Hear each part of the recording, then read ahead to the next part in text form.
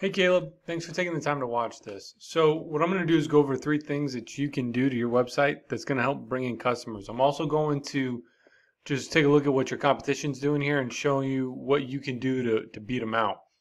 Uh, first off, I like your website. It looks like you do great work, so that's always a plus. Um, the the main thing that I, I really want to point out here is your website's not secure. This is real easy to fix. You can actually go to your registrar, the people you bought the website domain name from, and get an SSL. Uh, this will secure the website and this will help you rank.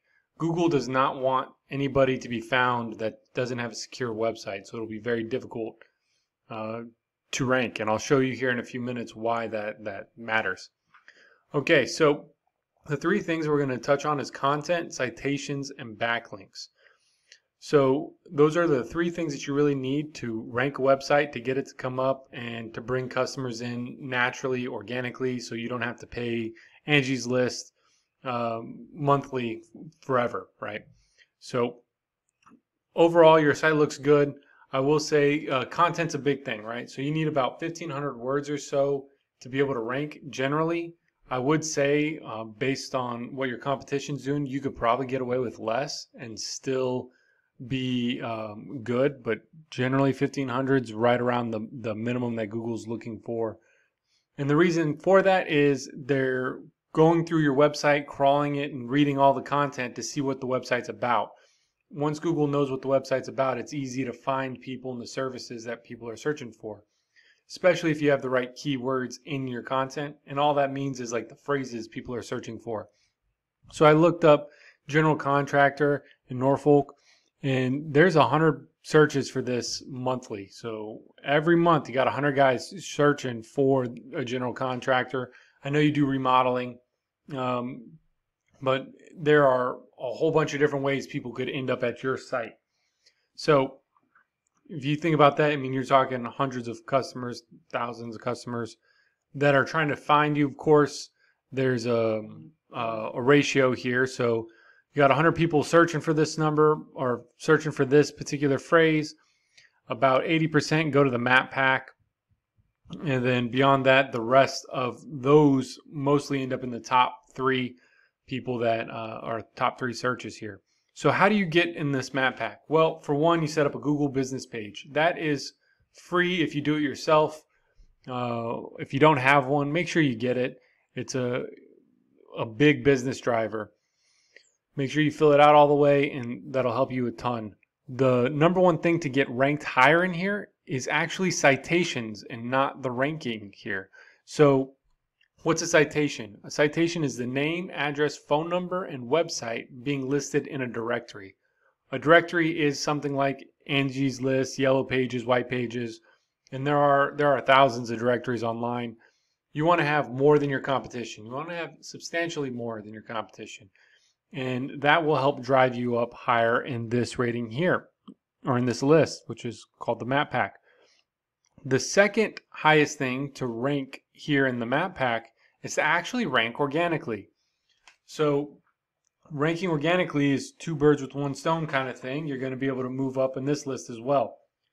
So how do you rank organically? Again that's content but the second thing is backlinks. So taking a look at these guys here, they don't have a lot of backlinks. I'll I'll go into that here in just a second, but it's um, it's important to note that they're not actual companies, right? So this is just Angie's List Houzz and Better Business Bureau. You can outrank these guys with your website because you have you can add more content, more backlinks in them, and you will be above them. So it's definitely doable. I did pull up the uh, map pack here to see if you came up. I couldn't find you in here. Um, so I, I, hope you have one. It just needs to be optimized. If you don't have one, you should definitely get on that.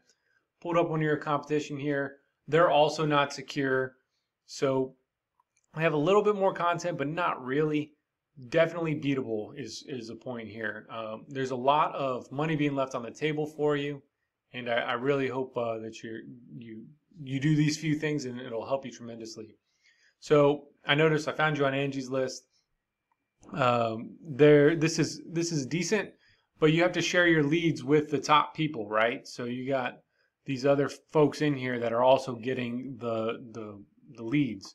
Whereas if you own the website and you're on the top, you will be driving your own business and getting your own uh, customers without having to pay money for the rest of your life.